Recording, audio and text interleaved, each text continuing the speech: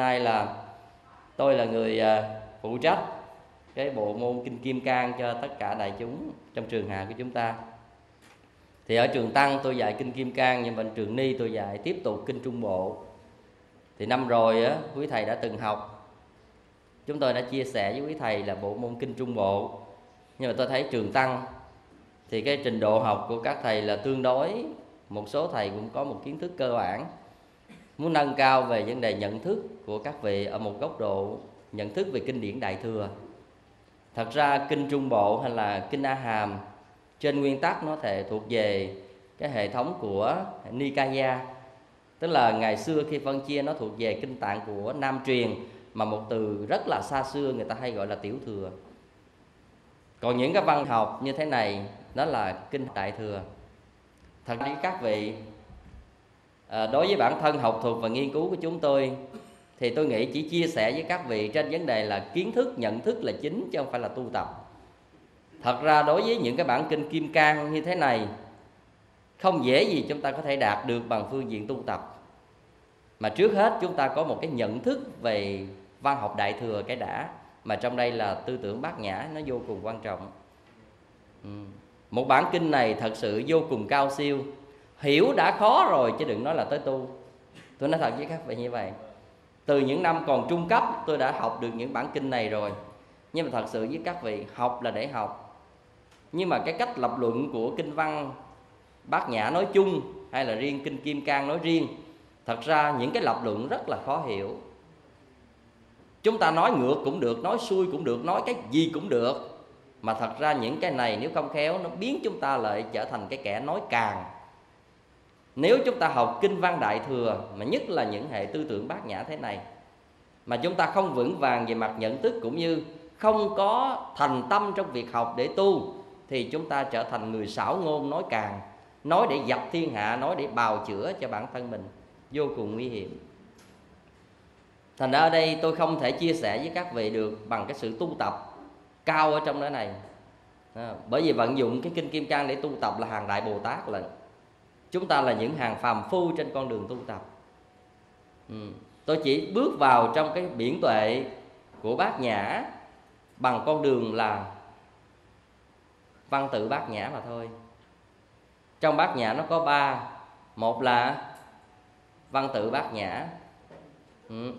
hai là quán chiếu bát nhã, ba là thật tướng bát nhã như vậy với con đường quán chiếu và thật tướng thì quán chiếu là khi quý thầy vận dụng tu tập bắt đầu chúng ta quán chiếu để đi sâu vào trong tâm thức. Còn ở trên mức độ tôi chia sẻ với quý thầy là trên văn tự mà thôi. À, văn tự ở đây để cho chúng ta có một cái tầm nhìn có một nghiên cứu học vấn về một vấn đề rất là quan trọng trong phật giáo.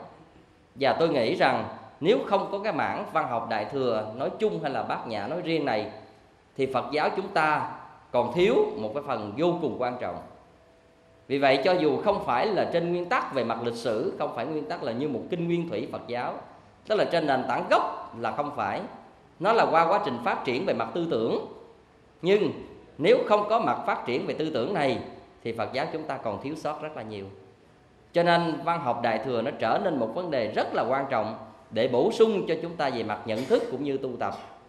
Ừ cho nên tôi thì không phải là những cái người có khả năng chuyên môn nhưng mà tôi đảm trách một bộ môn để cùng với quý thầy nghiên cứu lại một bản kinh à, mà chúng ta cần học hỏi và suy gẫm rất là nhiều. Thậm chí trong trọn cuộc đời một con người để mà tu học về vấn đề này là không dễ. Các bậc tổ cũng đã ngần ngại khi dịch giảng về những vấn đề này. Hôm nay tôi không có thể biên dịch hay là cho các vị những tài liệu riêng mà tôi chỉ dựa vào những sách đã được dịch giảng rất là nhiều. Dường như là quý thầy, quý hòa thượng chư tôn đức cũng rất là hứng thú trong một bản kinh này. Vì tầm quan trọng của nó, về văn kinh của nó, về triết lý của nó nó làm cho nhiều người rất là đam mê. À. cho nên ở đây khi mà chúng ta đi tìm những cái quyển sách mà chuyên dịch giảng về kinh kim cang thì nhiều lắm, vô số đại khái là các vị đọc trong những bản kinh thường nhất đó là trong Phật học phổ thông kinh kim cang của hòa thượng thiện hoa dịch giảng. À, rồi á, bên cạnh đó là hòa thượng thanh từ hòa thượng tiên hóa hòa thượng từ thông hòa thượng trí quang hòa thượng nhất hạnh rất nhiều. Bậc tài ba lỗi lạc bên cạnh đó có những cái học giả quyên thâm như đoàn trung còn chẳng hạn. Đều có những cái bản dịch giải rất là nhiều. À, gần đây là cái bản dịch từ anh ngữ đó của hòa thượng chân thiện dường như là cái bản kinh kim cang này nó làm cho mọi người hứng thú để dịch giảng rất là nhiều. Tại vì nó là những văn kinh rất là bay bổng. Nhưng mà trong khi trình bày vấn đề này, tôi cũng xin lỗi với quý thầy một điều là chúng ta cùng phiêu bồng với ngôn ngữ hơn là cái đời sống tâm linh thật chứng của chúng ta về điều này. Đời sống tâm linh thật chứng có thể là dành cho các bậc tổ, các bậc thầy lỗi lạc. Còn bản thân tôi thì tôi không có khả năng mà tôi chỉ cùng với quý thầy phiêu bồng trong ngôn ngữ đôi khi là hình dung tưởng tượng để phân tích rồi cho nó vui. Và chúng ta có một cái khái niệm về một cái bản kinh tuyệt vời như thế này. Ừ. đó là một bản kinh kim cương. Vì vậy cho nên ở đây chia sẻ với quý thầy trên mặt để đi vào biển tuệ bằng cách là văn tự bát nhã mà thôi. Tức là trên nói năng ngôn ngữ à, phân tích giảng giải. Chứ chưa phải là một điều tư duy quán chiếu thâm sâu để đi vào trong biển tệ hay là bằng con đường là thật tướng bát nhã có nghĩa là thật chứng rồi cái điều này là các bậc thánh là các bậc đại bồ tát đã thành tựu mà chúng ta suốt đời này rất là khó nắm bắt ừ. xin thưa quý thầy trên cái căn bản của kinh, kinh kim cang hay là kim cương à, là một cái từ để chúng ta nói chung là chúng ta gọi tắt về bản kinh này ừ. đầy đủ của cái kinh này để gọi là kim cương bát nhã ba la mật kinh. Nói một cái từ đầy đủ nó là như vậy. Trên văn tự của Sanskrit, tất cả các hệ kinh đại thừa, các vị nên nhớ đều dịch từ Bắc Phạn tức là Sanskrit chứ không phải là từ Bali. Những kinh điển nam truyền Phật giáo đều dịch từ văn tự gốc, đó là Bali. Còn riêng về các tạng của Bắc Tạng đều dịch từ chữ Sanskrit cả. Cho nên những bộ kinh này được chuyển dịch từ tiếng Sanskrit và cái bản mà tôi chia sẻ với quý thầy ở đây đó là dựa vào cái bản của ngài Kumala Thập à, rất là nhiều dịch giả để dịch kinh này ngài Nghĩa Tịnh ngài Quyền Trang và nhiều các bậc thầy khác để chuyển dịch. Nhưng trong đó dường như là các cao tăng của Việt Nam chúng ta phần lớn lúc nào cũng dịch giảng lại phần lớn là cái bản kinh của ngài Kumala Thập bởi vì cho rằng ngài dịch chính xác và thâm sâu hơn tất cả những cái bản dịch khác và ở đây tôi cũng dựa vào các bản dịch này và chia sẻ với quý thầy trên bản dịch của hòa thượng trí tịnh. À, hòa thượng đã dịch bản kinh này cũng bản gốc từ ngày Kumala Thập. Ừ. và vì vậy một lát nữa tôi sẽ để photo cho quý thầy bản này. Tôi cũng có bản gốc nữa. À, mà chỉ là bản photo thôi. Một cái bản dịch của hòa thượng trí tịnh để cho mọi người tụng đọc hành trì. Mà tôi thấy rằng thường thường thì hòa thượng dịch rất là gần gũi với chúng ta đọc vào dễ hiểu. À, cho nên tôi đem cái bản kinh này để một hồi photo cho quý thầy làm tài liệu. Bên cạnh đó, tôi sẽ tìm một bản dịch giải của hòa thượng thanh từ, một trong những bản cũng rất là dễ hiểu, để cho quý thầy làm tư liệu để học. Nhưng mà hôm hổm tôi tưởng là quý, gửi cho quý thầy kinh này rồi, cho nên là tôi không có để ý. Nhưng mà hôm nay là không ngờ là quý thầy chưa có. Thì có thể trong hôm nay và ngày mai, thì tất cả quý thầy sẽ có những cái bản này, một cái bản về nội dung chính, và bên cạnh đó có những bản dịch giải để quý thầy về tham khảo để biết những cái bộ kinh này. Bên cạnh đó trong quá trình chia sẻ quý thầy sẽ ghi chú. À, tức là ghi chú để chúng ta hiểu thêm một vấn đề có những vấn đề nó nằm ngoài cái trong sách dịch giảng của chúng ta. Ừ. thì về nguyên tắc của cái chữ này đó là từ chữ Sanskrit. À, nó viết được từ chữ Vara Jedika à, Vranya Paramita Sutra tức là các cái nào mà các vị thấy chữ sutra phía sau là các vị biết là văn tự của Sanskrit toàn bộ. Còn nếu của Bali, hoàn toàn phía sau nó đều là chữ sutta cả. Giữa chữ Bali và chữ Sanskrit những cái chữ này phần lớn nó có những cái điểm mà chúng ta biết khác biệt nhau. Những người chuyên về học tạng Sanskrit hay là Bali, chúng ta dễ phân biệt hơn. Còn ở đây chúng ta chỉ dựa vào những điều mà quý ngài, quý hòa thượng, quý thầy đã dẫn chứng làm tư liệu để chia sẻ cho chúng ta về mặt nhận thức về kinh điển của chúng ta. Xin thưa quý thầy cái bản kinh này à, chúng ta gọi tắt là kinh kim cang hay là kinh kim cương hay là kim cương bát nhã kinh. À, cái đây là tùy mà cái tử rút ngắn mà chúng ta từng được biết nhất đó là kinh kim cương. Và trong quá trình phát triển kinh điển chúng ta nên nhớ văn học đại thừa là được phát triển bình quân là khoảng 600 năm sau Đức Phật nhập Niết Bàn. Ừ. Tư tưởng thì nó đã manh nha từ thời kỳ phân chia bộ phái, tức là lúc đó chỉ hé mầm thôi. Nhưng mà để khẳng định rằng có một cái học thuyết riêng biệt à, như tư tưởng đại thừa thì nó phải được phát triển khoảng 600 năm sau Đức Phật nhập Niết Bàn. Còn cái thời kỳ phân chia bộ phái chẳng hạn như đại chúng bộ đó là cái hướng để sau này trở thành các tư tưởng đại thừa à, chúng ta nên biết là như vậy. Cho nên về kinh điển văn học đại thừa là phát triển là khoảng 600 năm. Nhưng giờ chúng ta có thể thừa nhận rằng văn học bát nhã là một trong những văn học có sớm nhất trong văn học đại thừa. Trên cái tiến trình lịch sử phát triển kinh văn thì chúng ta được thấy các ngày chia ra là như thế này. Là văn học bát nhã được là có trước, sau đó rồi mới tới hoa nghiêm, rồi mới tới đại bảo tích rồi tới mấy kinh di ma, rồi mới tới pháp hoa tức là vần vần và liên tục về sau, nó được phát triển một cách tuần tự là như vậy ừ. thành ra văn học đại thừa, nó, mà nhất là văn học bát nhã, nó là một bản kinh cảm thấy rất là đồ sộ không? chúng ta thấy rằng bát nhã nói chung là tới 600 bộ bát nhã như thế đó ừ. và kinh kim cang này chỉ là một phần rất nhỏ trong hệ bát nhã mà thôi. Tức là được quý ngài đã tuyển dịch ra là trong đây trong 600 bộ là nó nằm ở số 577 tức là nằm trong 600 bộ đó đó. Tức là chỉ có một mục nhỏ trong 600 bộ mà thôi. Nó trở thành một bản kinh kim cang như thế này. Ừ. và chúng ta thấy rằng một trong những bộ luận để lý giải về văn học bát nhã tuyệt vời đó là luận của ai? Hả? Của ai? Của của ngài Long Thọ. Một bộ luận vĩ đại để phân tích diễn giải mở rộng về văn học bát nhã. Chúng ta thấy đó là bộ đại trí độ luận không? hiện giờ chúng ta có những bộ đại trí độ luận là do à, hòa thượng thiện trí đã nhuận bút một cái à, cái bộ đại trí độ luận dường như là do sư bà diệu không dịch đó rồi sau này đó là hòa thượng thiện siêu đó hoàn thành một bộ đại trí độ luận cũng được dịch ra rồi. Ở đây khi quý thầy tham khảo là những bộ luận này dĩ nhiên trên mặt văn tự chúng ta đọc chúng ta thấy rất là phiêu bồng. À, đối với những khả năng như tôi tôi đọc vô trong đó tôi cũng thấy phiêu bồng nữa. Chúng ta đọc vào trong nhất là văn kinh đại thừa đó chúng ta thấy mình phiêu lưu lắm.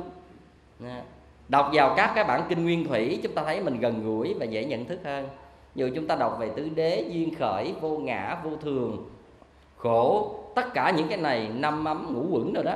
Mấy cái này nó gần gũi với chúng ta và chúng ta có cái cơ sở để mà phân tích lý giải về điều này. Còn dường như khi đọc tích văn kinh đại thừa rồi chúng ta thấy rất là khó mà có cái chỗ để phân tích. Dường như chúng ta nói để nói nhưng mà không biết bằng cái cách nào đó có thể là cảm thấy đúng hay không.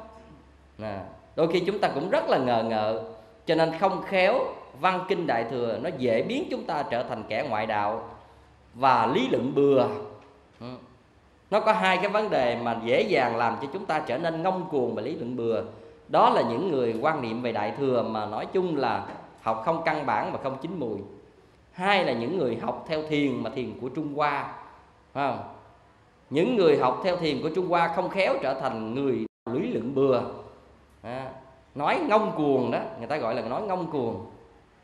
Mà hòa thượng thiền tâm hay nhắc nhở cái cái này trong một cái câu mà chúng ta đọc thường quen đó là gì? Đầu mồm nói suốt trăm phần diệu. Cái gì nữa? Dưới gót không ly một điểm trần là này ừ. và trong nhà thiền người ta cũng cảnh báo cho những người mà nói chuyện ngông cuồng mà không có tâm giải thoát không có tâm chứng đắc thì á, quý hòa thượng cảnh báo bằng cái từ là khẩu đầu thiền tức là ông học thiền chỉ để nói thôi, để lý luận thôi. Còn về mặt tu tập không có có. Và không khéo chúng ta đã đem những cái thiền ngữ để trở nên những cái bia để bao che cho cái sự thiếu tu tập của chúng ta, thiếu học hành của chúng ta. Ừ, cũng giống như một số vị, nhất là học thiền thoại đầu không? tức là thiền thoại đầu là thiền tham công án, mà quý thầy không có nghiên cứu kỹ và không học chính mùi và không thâm tu thì quý thầy trở nên bao che sự dốt nát của chúng ta. Nên nhớ là như vậy. Bởi vì trong thiền thoại đầu không có học. Ôm cái câu thoại ở trong đầu là ôm cái nghi, tức là gọi là nghi tình. Và sau này vỡ nghi tình để chứng ngộ. À.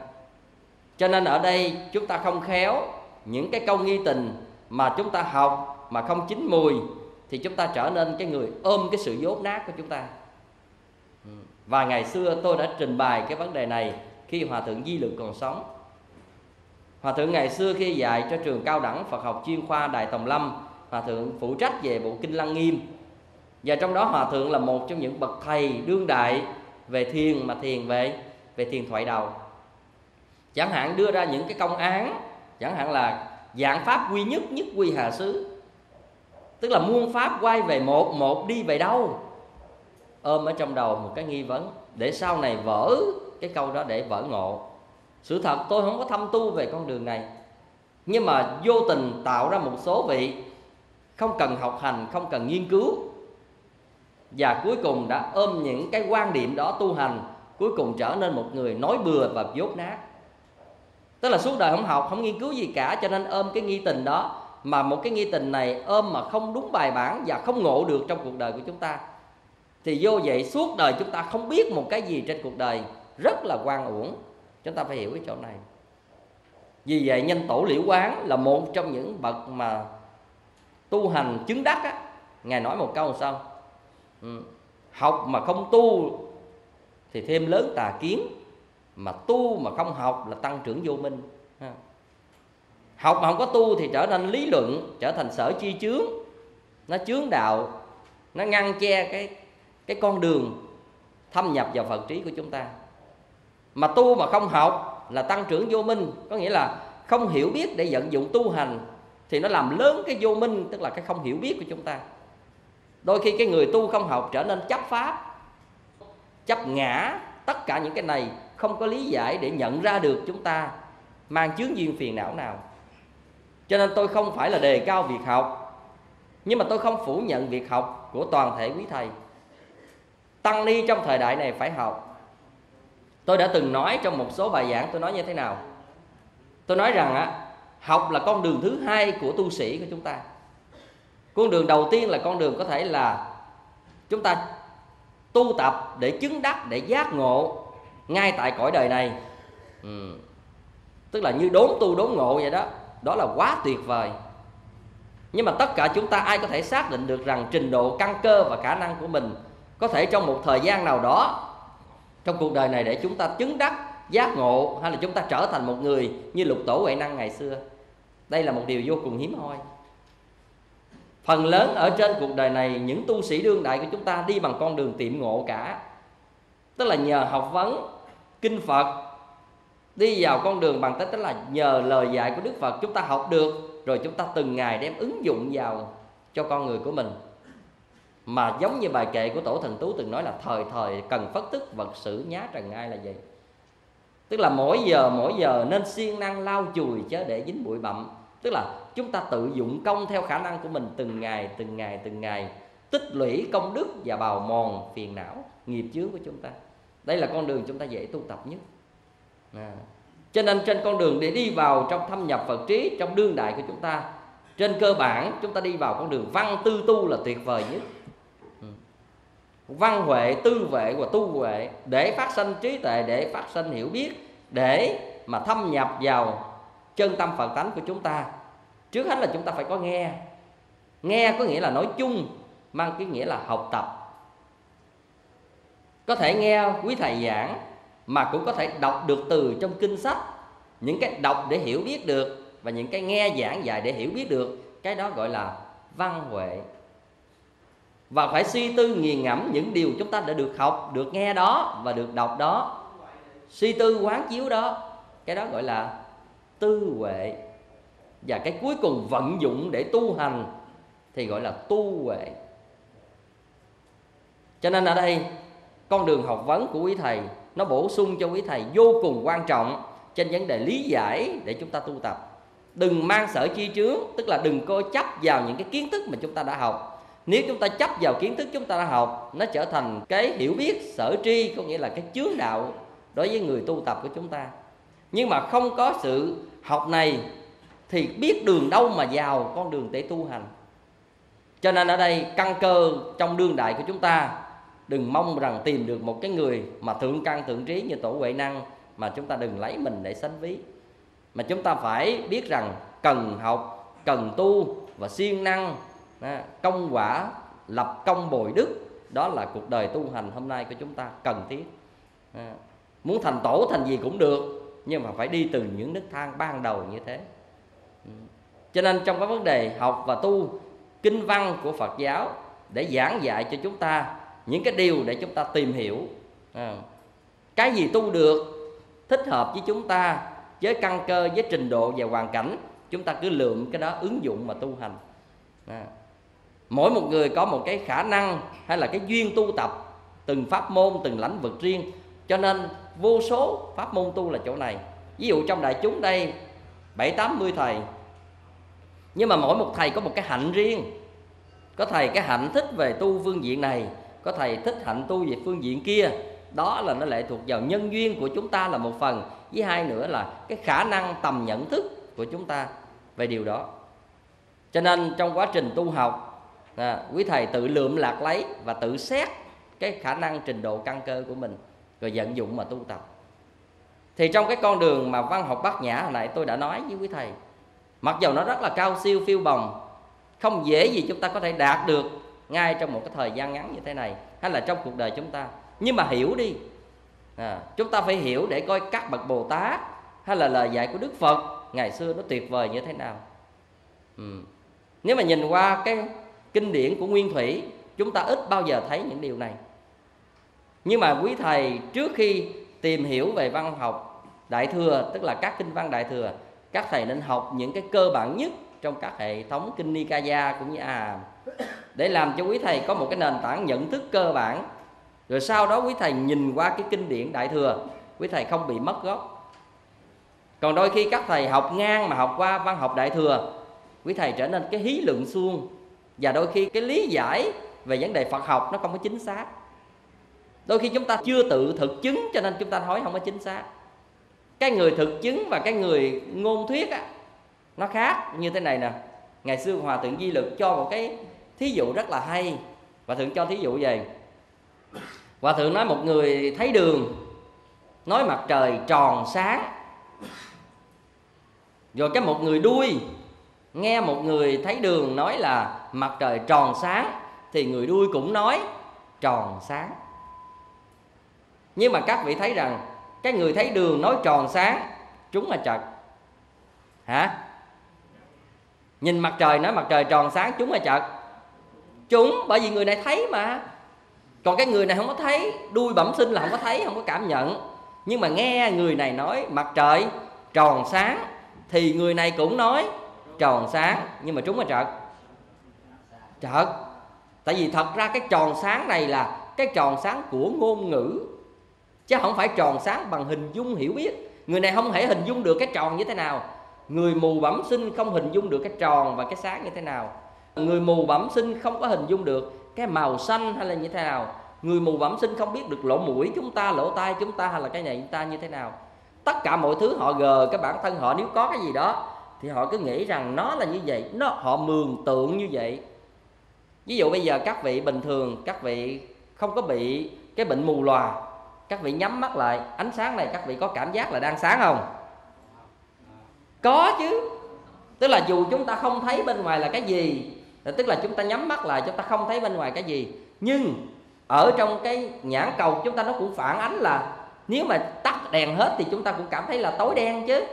Nhưng mà khi có ánh sáng chúng ta vẫn thấy nó dạ dạ cái gì nó nó sáng ở ngoài chứ, đúng không?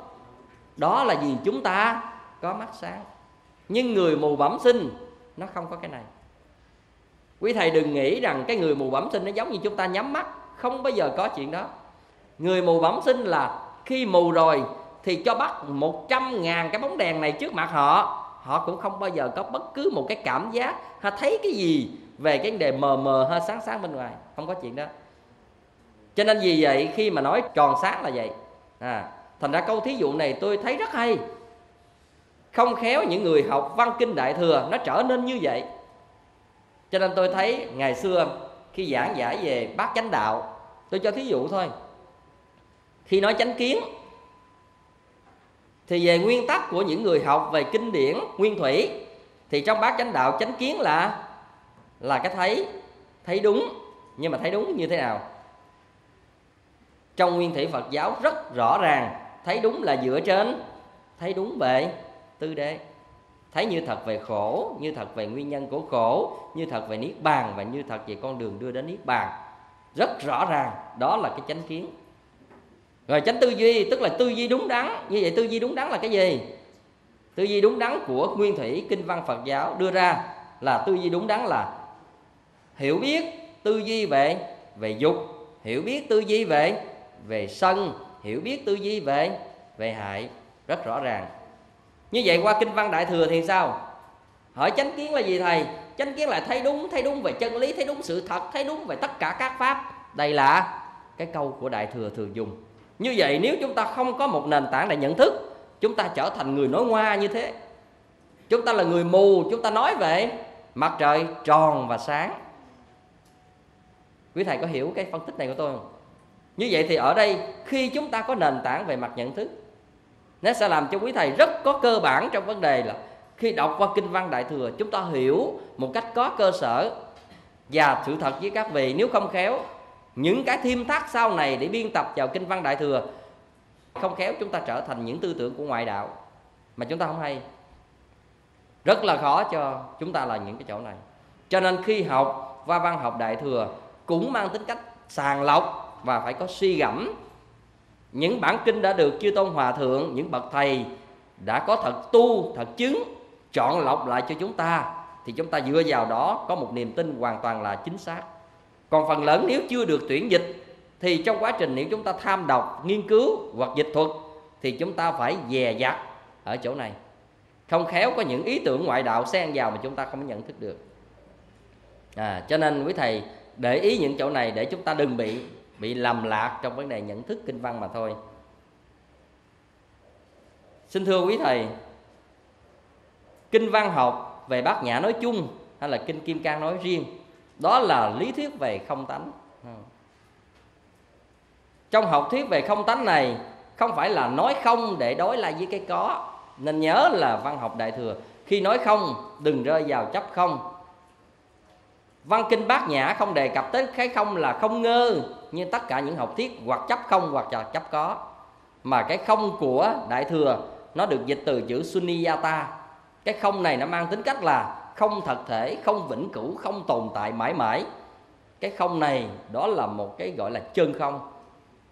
Vì thật tướng của các pháp là là không tướng. Bây giờ tôi nói thật với các thầy, cái ly này nó có thật là cái ly không?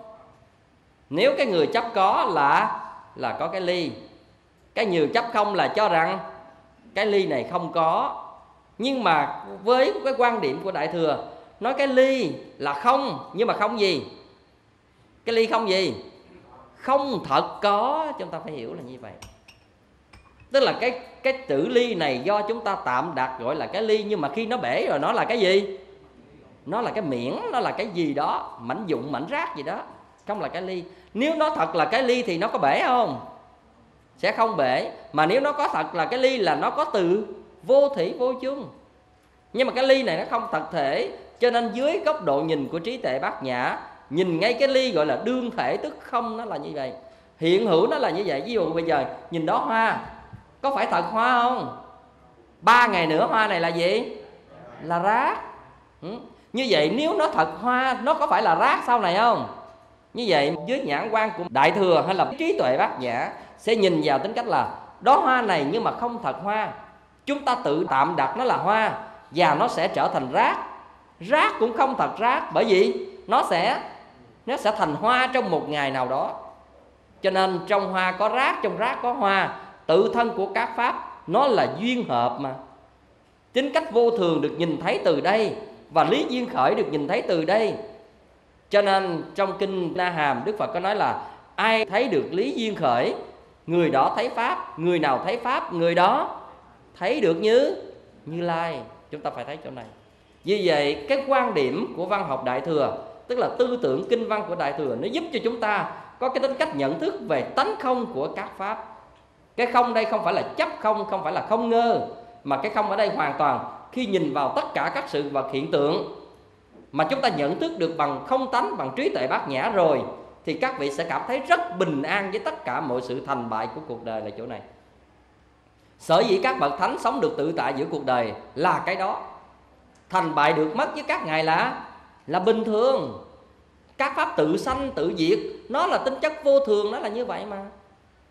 Cho nên chính chỗ đó mà thiền sư vạn hạnh ngài mới nói được một câu là, nhậm vận thạnh si vô bố quý, thạnh si như lộ thảo đầu phô à. mặc kệ thạnh si không sợ hãi, thạnh si như là xương ở trên đầu ngọn cỏ vậy thôi. Sớm nó có xương thì nó đóng, chưa lại có mặt trời thì nó tan, nó hợp nó tan, nó vốn vô thường, mong manh như vậy. Và vì vậy, cái giác ngộ của các ngài các ngài nhìn được tất cả các pháp ngoại tại đều là vô thường và cũng nhìn được bản thân là là vô thường, là giả hợp bằng cái nhìn của trí tuệ bát nhã, bằng cái nhìn của tánh không, nó sẽ giúp cho tất cả quý thầy cô ít dính mắc, ràng buộc về tất cả những điều này. Ở đây mang tính cách nói về góc độ văn học của đại thừa là phải nói như vậy. À, nói như tổ vậy đó. Quý thầy cứ tư duy, nhìn nhận nhận thức về cái vấn đề kinh văn và lý nghĩa của đại thừa trước cái đã. Thực chứng tu tập cái chuyện này là do cái công lực của quý thầy, sự vận dụng tu học của chúng ta còn cái trên nguyên tắc hiểu biết nhận thức, phải nhận thức cho nó ra. Nó đúng ý nghĩa của nó là như vậy. Ừ. thành ra trên cái nguyên tắc của học thuyết về tánh không này thì nó là như vậy trong tất cả hệ bát nhã luôn. Và trên đó, kinh kim cang này là một phần trong hệ bát nhã. Cũng lý giải không ngoài cái này. Cho nên kinh kim cang để gọi là để nhận thức, để hiểu, để biết thật sự là rất là khó, chứ không phải là đơn giản đâu các vị nhưng mà hiểu, nhận thức được rồi, chúng ta đi thẳng vào chân tâm phật tánh. Chúng ta thành tựu được tệ giác, chúng ta có cái nhận thức bằng trí tuệ bát nhã ngay tại cõi đời này luôn. Xin thưa quý thầy cô, tổ huệ năng ngộ đạo nhờ đâu? Hử? nhờ nhờ kinh gì? Kinh kim cang. À. Khi tổ giác ngộ trên 20 tuổi thôi. À.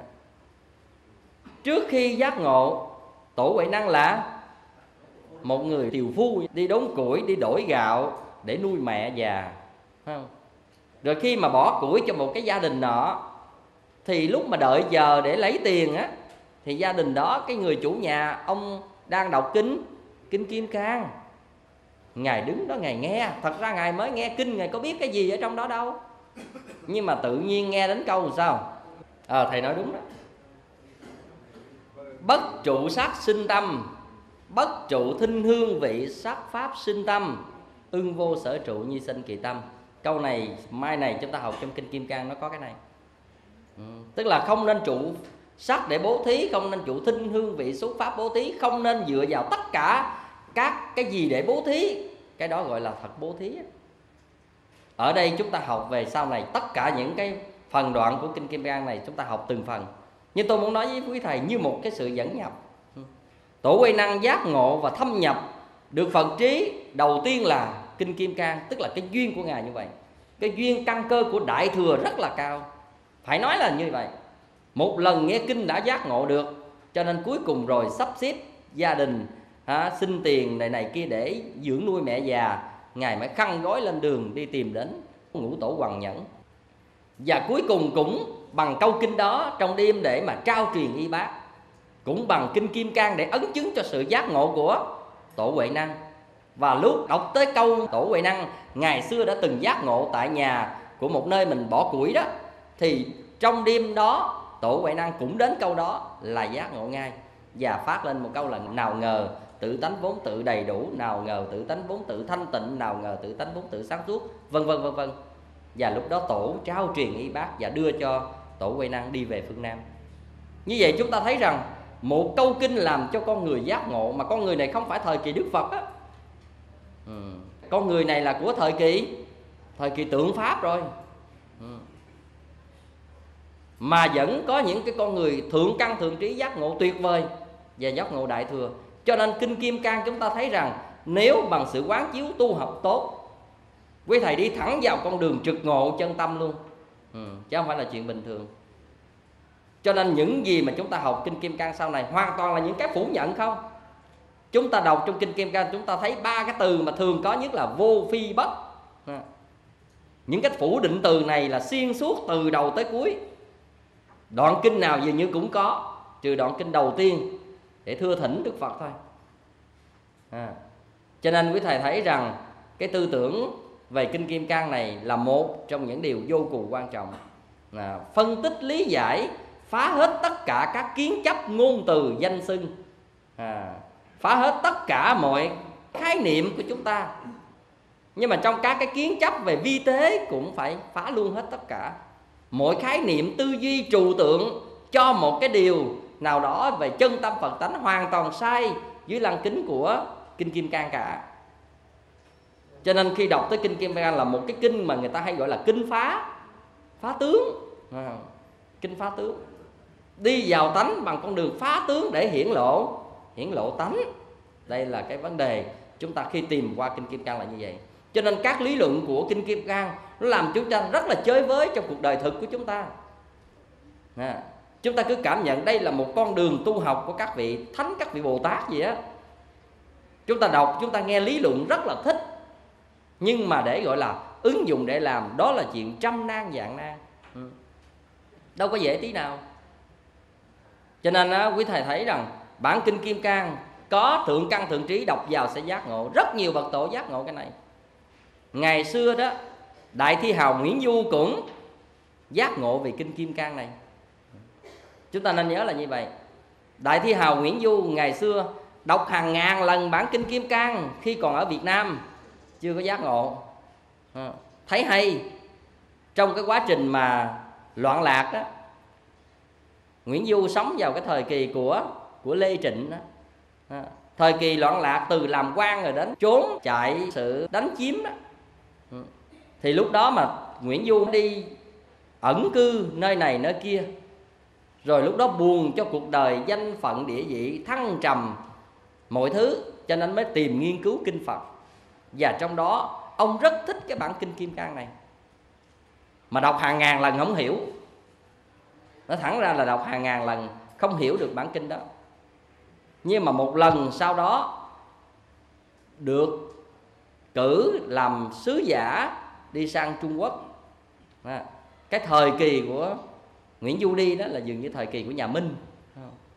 Thì qua bên đó đó thì ông tìm lại những cái thánh tích Phật giáo ở tại Trung Hoa trong cái nơi mà nổi tiếng, chẳng hạn như nơi của Lỗ Huệ Năng, của lương võ đế, nơi của thái tử chiêu minh và vân vân, nhiều nơi khác, thì ở chỗ thạch đài chia kinh đó, ngày đến đó, từ cái thời của vua lương mà cho đến cái thời của nhà minh đó, nó đã trên một ngàn năm rồi. Ừ. Thì lúc đó các vị thấy cái gì? Nhìn trên cái quan tàn đổ nát, cái nơi thạch đài chia kinh tại vì ngày xưa đó, vua lương võ đế là người rất là kính trọng phật pháp. Và con của vua lương võ đế đó là thái tử chiêu minh, cũng là người rất là sùng kính phật pháp và nghiên cứu kinh phật. Cho nên ông làm cái đài chia kinh là nơi đó giống như là một cái cái nơi là xây một cái lầu để mà nghiên tầm phân tích, giảng giải kinh điển vậy đó. Và cái nơi đó bây giờ cách đã hàng ngàn năm như vậy, bây giờ riêu phong, đổ nát quan tàn và khi mà nguyễn du đến nơi đó đã từng nghe thập đài chia kinh này mà bây giờ đến nơi không còn thấy cái gì của kinh điển nữa thì lúc đó Nguyễn Du ngộ về kinh Kim Cang liền. Kinh vô tự mới là chân kinh. Và trong cái bài mà thập đài chia kinh đó, của thái tử chiêu minh đó, lúc đó Nguyễn Du mới đặt một bài thơ rất dài. Mà bốn câu chót của nó đó là tôi trích ra ra đây cho các vị bằng bốn câu chót. Ừ. Ngã độc kim cang, thiên biến linh, kỳ trung áo chỉ, đa bất minh. Cặp đáo phân kinh, thập đài hạ.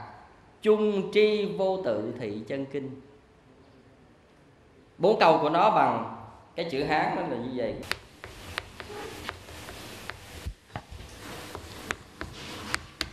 Ừ, ngã độc kim cang thiên biến linh. À.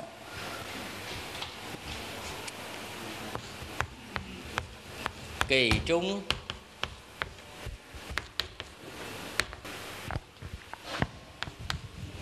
Thì cái bài này đó là chúng ta đọc thấy rằng ngài nói rằng á, cái câu cuối ngài kết luận rằng ngã độc kim cang, thiên biến linh. Là ta đọc cái kinh kim cang này á, hơn một ngàn lần. Linh là lẻ đó một ngàn biến lẻ tức là hơn một ngàn biến. À, à, tức là nguyễn du đã đọc hơn một ngàn lần kinh kim cang mà không hiểu. À, kỳ trung áo chỉ đa bất minh. À, cái trong đó đó trong kinh kim cang á chữ kỳ này chỉ chữ kinh kim cang á những cái áo chỉ những cái thâm áo sâu sắc ở trong kinh đó đó nhiều chỗ ta không có được biết không có rõ ràng. Ừ, ông nói như vậy á? Cặp đáo phân kinh thạch đài hạ tức là kịp mà đi đến á cái nơi mà dưới cái đài á đá phân chia kinh của thái tử chiêu minh. Đó. thì sao? Trung tri vô tự thị chân kinh. Rốt cuộc rồi mới biết rằng cái kinh mà vô tự á, không có chữ á, chính là chân kinh. Thâm nghĩa bát nhã hoàn toàn. Ở đây các vị thấy rằng một đại thi hào hiểu biết thông minh lỗi lạc chúng ta có thể là gọi là đó là một thế trí biện thông đó là con người hiểu biết những cái việc của xã hội, của đời thường rất nhiều. Nhưng mà để thâm nhập vào trong phật trí là chuyện không dễ tí nào. Cho nên kinh kim cang như thế, ông đọc những cái lý luận về cái học thuyết tánh không và phủ định về tất cả mọi sự vật hiện tượng hay là phá tướng á, thấy rất là tuyệt vời. Thấy rất là thích, nhưng mà xin thưa với các vị, đọc hơn một ngàn lần mà không có ngộ được. Thì cũng giống như chúng ta vậy á chúng ta đọc các văn kinh, chúng ta đọc kinh pháp hoa, chúng ta thấy sao?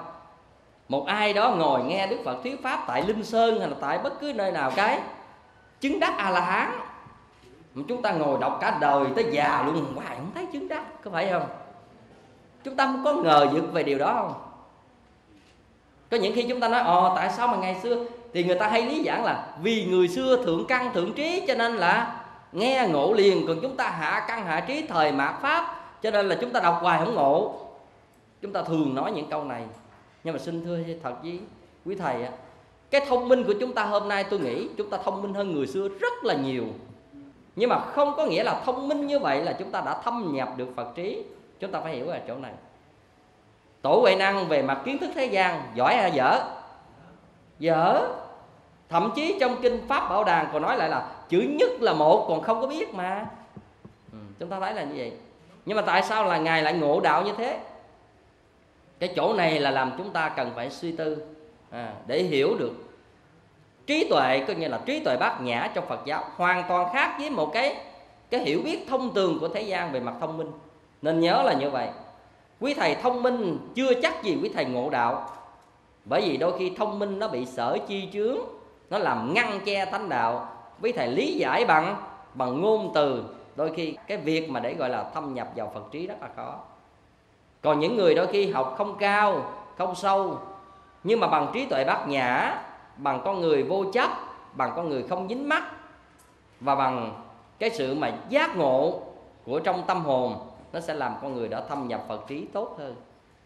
Cho nên ở đây, chúng ta cảm thấy rằng về mặt thông minh, tôi nghĩ so với tất cả các bậc thánh ngày xưa, chúng ta cũng không phải đến đổi tệ lắm đâu nhưng mà chúng ta thua các bậc thánh ngày xưa ở chỗ là vì thông minh cho nên chúng ta không có chân thật à. chúng ta lấy cái hiểu biết chúng ta bao che và đó vô tình nó đã trở thành một cái vách tường ngăn cách giữa chúng ta trên con đường tu tập và cái mục đích tối hậu của người tu ừ. cho nên đôi khi chúng ta lý luận nó trở thành cái hư thuyết cái lý luận à, cái này chúng ta phải để ý thấy như vậy cho nên ở đây chúng ta thấy rằng chính cái chỗ này đó, tôi thấy Nguyễn Du ông ngộ đạo cũng như là tổ quay năng vậy đó. Đọc bao nhiêu lần không ngộ nhưng mà đến nhìn thấy cái thạch đài chia kinh tự nhiên ngộ cái ngộ cũng là ngộ về kinh kim cang. Cái ngộ về kinh vô tự kinh không chữ mới là chân kinh. Chúng ta thấy chính cái chỗ này mà Đức Phật Thích Ca đã từng nói trong các kinh là trong 49 năm ta chưa từng nói nói pháp một lời, có phải không? Đức Phật nói thành tam tạng kinh điển như thế, mà bây giờ Đức Phật là nói câu là trong 49 năm ta chưa từng nói một lời. Các vị nói là, wow, vậy là Đức Thế Tôn nói như vậy, là Đức Thế Tôn nói dối có phải không?